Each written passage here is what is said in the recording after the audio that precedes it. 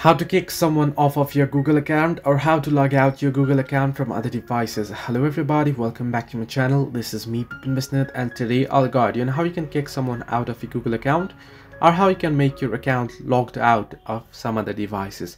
Now the process is simple. First you can simply go ahead and open up your Gmail or email because your Google account will be there, right?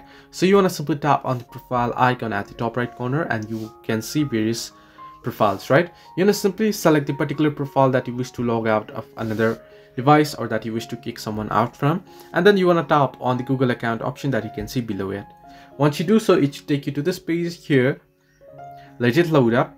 And once it loads up you can see various options. You can see home personal info if you swipe to the right data and privacy and there you can see security. You want to tap on security option and then you want to scroll down below and you'll find the option that is your devices. You want to tap on manage all devices that you can see down below. And once you tap on manage all devices now, you'll be able to see your devices option. Now you want to simply tap on the particular device that you wish to log your Google account out from. So once you tap on it, you'll get the sign out option. You can simply tap on sign out and you'll get signed out of that particular device. So this way you can kick someone out of your Google account. Hope this helped you. Do like and subscribe and do not forget to leave a comment down below if you have any further issues.